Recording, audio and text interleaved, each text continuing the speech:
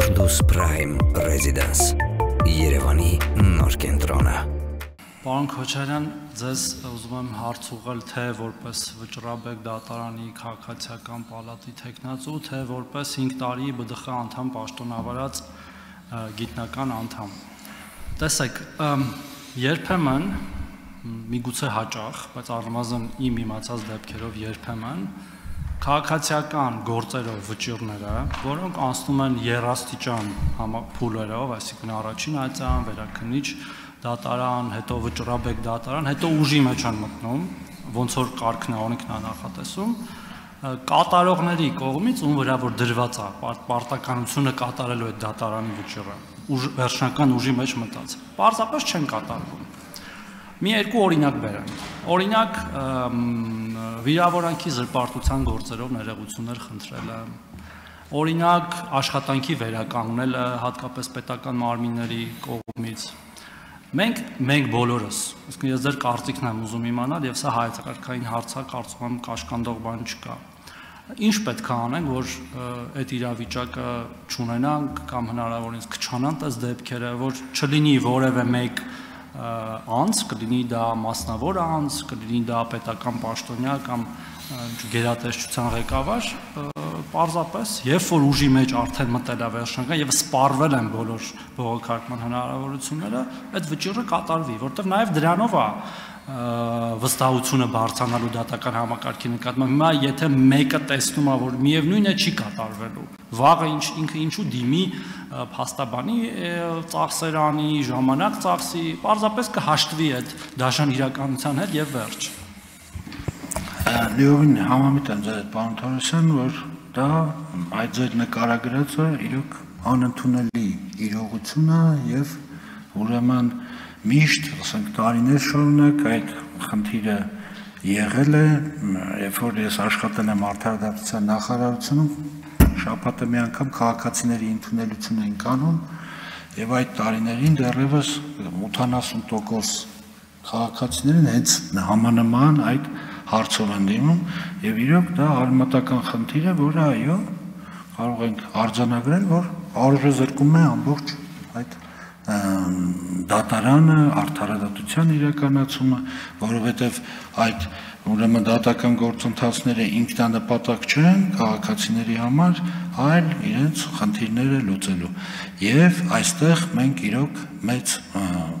խնդիր ունենք, որը ել եմ ասում, ինքը ընկած չի դատական իշխանության տիրույթում, դա ոնց որ թե ավելի շատ ուրեմն վարչարարության է վերաբերվում եւ այստեղ միգուցե կարիք կա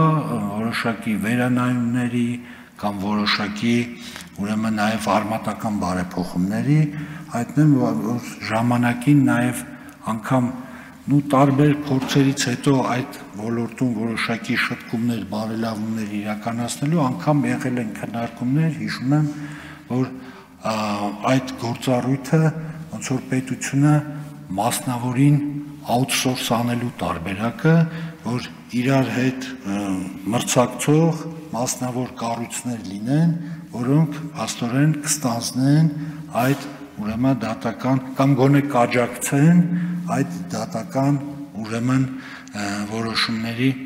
կատարման խնդիրը լուծելու բայց որ այդ խնդիրը իրոք կա եւ իրականությունը նրանում է որ եթե չգիտեմ համապատասխան վիճակագրությունը նայենք հազարավոր ուրեմն հասնող ուրեմն գործերի, երբ որ առաջընթաց չկա, կա դատարանի որոշում, այն ուժի մեջ է մտել, բայց լուծումները չկան։ Ու այստեղ միգուցե, ասում եմ, sense միգուցե էլի նույնպես ինչպես այլ օրինակով էի նշում, միգուցե այստեղ էլ արժի ոչ, ասենք, ստանդարտ կամ կոնվենցիոն լուծումների մասին մտածել, քննարկել, որտեղ པարզ է, որ ձեր ներկայացված դեպքերը ուղղակի անընդունելի են։ Արձագանք ունեք համաձայն։ Շնորհակալություն պարոն Քոչարյան։ Առնվազն արձանագրումների տեսանկյունով մենք համակարծիք ենք, լուծումների տեսանկյունով էլ միգուցե, բայց ձեր ասածը ենթադրում եմ ավելի շատ բռնագանձումների դեպքին կարող է վերաբերել մասնավոր մեծամասնությունը դրանք են հարկադիր կատարման ծառայության ինչ որ ֆունկցիաներ, ենթադրում եմ ինչ որ ֆունկցիաներ, ոչ ամբողջությամբ, բայց դեպքեր կան, որ ֆինանսական վեճ չկա կամ փոխհատուցման վեճ չկա կամ փոխհատուցման մասը հեշտ կատարում են, բայց այն մյուս մասը, որ պետք է որոշում ընդունեն կամ ընդունած որոշումը չեղարկեն, կամ օրինակ բերեցի, օրինակ նույն ներողություն խնդրելը, հա, ասենք վճարում են այն հատվածը, որը որ դատարանի վճիրով պարտավորեցվում է վճարել, որտեղ եթե չվճարեն, դուգանք կլինի, բան կլինի, կալան կլինի հաշիվների վրա եւ այլն, բայց բուն ներողությունը օրինակ չեն խնդրում եւ եւ այդտեղ մեկը այդ խնդիրը գալիս է ես ձեր կարծիքն եմ ուզում իմանայի որպես որպես նաեւ այդ այդ ոլորտում փորձառություն ունեցող շնորհակալություն շնորհակալություն այո նաեւ նույնպես իմ գործադիրում աշխատանքի ժամանակի փորձից նաեւ խնդիրներ լինում որ պետական մարմինները չեն կատարում հասկանում եք որոշում դա ընդհանրապես շատ լուրջ խնդիր է եւ այդ առումով միգուցե նույնպես արդեն պատասխանատվության կարգապահական կամ վարչական ուրեմն միջոցների խստացման ուրեմն անհրաժեշտություն կա ու կապված ձեր կոնկրետ հնչեցված այդ ներեգության խնդրի հետ այստեղ իրոք խնդրահարույց է եւ անգամ եթե փորձենք մենք չգիտեմ այդ հարկադիր կատարողի տեղը մեզ դնենք այդ ստիպել դա անելը մի քիչ նույնպես խնդրահարույց է ու միգուցե ստեղ ուրիշ բան կարող ենք նաև օրենսդրական կարգավորումների առումով փոփոխություն այդ չկատարելի դեպքում մեծ դուգանք նշանակենք եւ այլը եւ այլը բայց ամեն դեպքում ինչ-ինչ լուծումներ իհարկե անհրաժեշտ են շնորհակալություն